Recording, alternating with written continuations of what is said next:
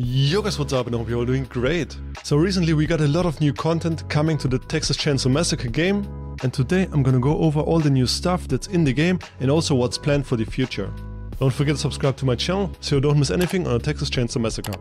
Alright, let's start with the new family skins that you probably already know about, that already got to the game last week, which are Bride Sissy and Shirtless Johnny. So I personally really like this Shirtless Johnny skin, but I'm not a really big fan of the Sissy skin. I mean her dress looks more like a sleeping shirt than a wedding dress. But what's great about these skins is that you can play and use them for free. And I'm really happy about anything new to the game that we can use for free. Also let me know in the comments down below if you like the new skins. Alright, next up, we also got a new execution pack with a new kill for every family member and also a new trailer to show off some of the new brutal executions. Alright, let's check out this trailer for a second.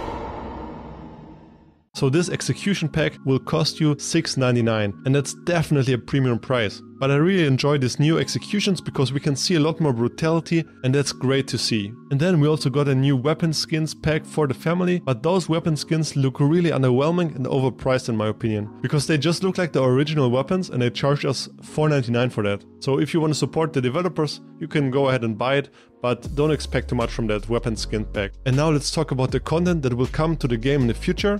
So we got a really big announcement a couple days ago about a new victim that has been revealed for Texas Chainsaw Massacre.